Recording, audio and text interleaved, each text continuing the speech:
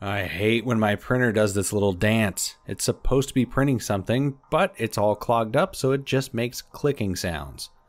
I'm going to show you in this video a few methods of performing a cold pull on your Bambu nozzle.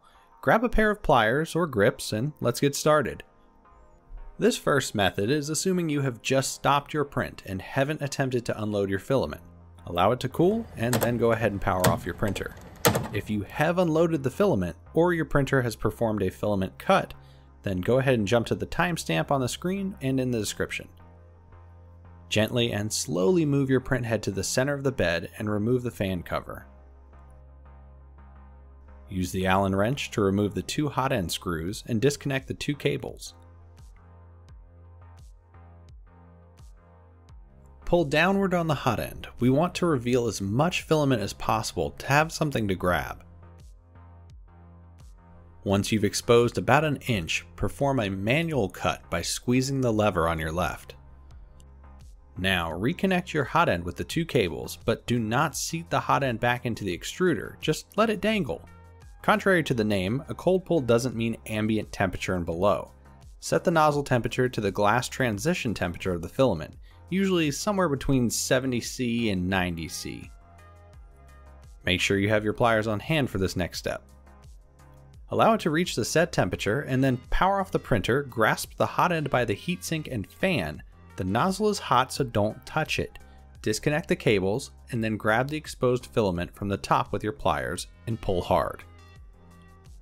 If you were successful, you'll be left with a short length of filament, a thin stringy bit, and a cone shaped end.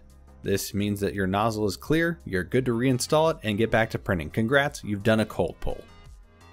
But most likely, your printer performed a cut and tried to unload the filament as you tried to troubleshoot. If that's the case, grab some pliers, the small Allen key or some framing nails, a lighter, and follow these steps. Power off the printer and slowly move the print head to the center of the bed. Remove the front cover and disconnect the fan. Set that aside for now. Use the Allen key included with your printer to remove the two hot end screws, disconnect the two cables, and remove the hot end from your printer you should see a flat cut piece of filament in the top, and there is no way you're going to be able to grab that with pliers. Tweezers don't even stand a chance of pulling it out either. Here's where we do something weird, as in, don't let your neighbors see you doing this unless you want a lot of questions. Use the lighter to heat up the end of the small Allen key or nail. It doesn't have to be red hot, but it should stay in the flame long enough to get really hot. Immediately ram the hot end of your tool into, well, the hot end, force it as far as it can go. It will rapidly cool and get stuck. Allow it to fully cool. We want that stuck filament to grip the tool as tightly as possible. Once it's nice and cooled, grab the hot end by the heatsink, gripping the trap tool with your other hand or pliers, and pull it straight out. This will probably be pretty difficult, and will feel like something's gonna break, but don't worry, the filament will break well before any of the metal tools. But if you're like me and you only manage to pull out a chunk of the stuck filament, we're in business. All we need to do is repeat the steps in the first section of this video. You're going to need a short length of filament, the same material that's stuck in the nozzle if possible. Just about, I don't know, 50 millimeters of it will do. Reconnect the hot end to the print head, allowing it to hang loosely. Don't put the front cover on or worry about reconnecting the part cooling fan. Just power your printer on. Let's cook. Set the temperature to something way above normal printing temperature of your filament. For PLA, I set it to like 250 degrees Celsius. PETG or ASA, I'd go somewhere around 280.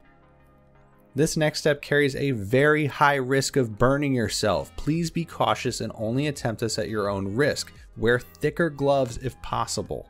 After sitting at the set temperature for about 30 seconds, grab your short length of filament in one hand and hold the hot end by the heatsink fins. Do not be a caveman and touch the nozzle. I promise it's hot.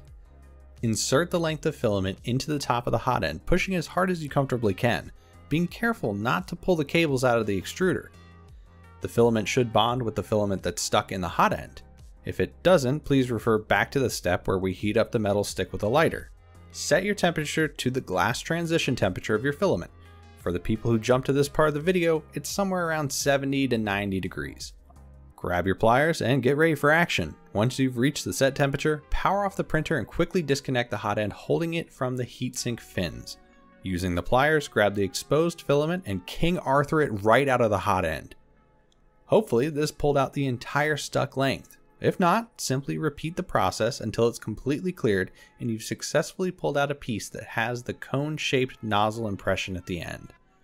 You may need to go back to this step with the lighter, but really don't do this outside. You have got to realize how you look while you're doing it.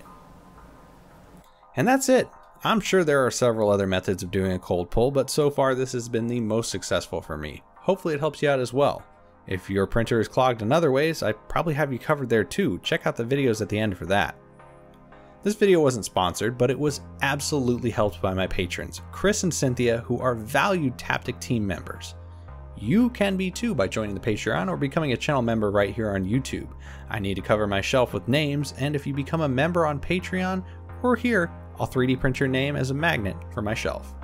Thanks for watching. If this video helped you out, let me know in the comments below, and I'll see you next time.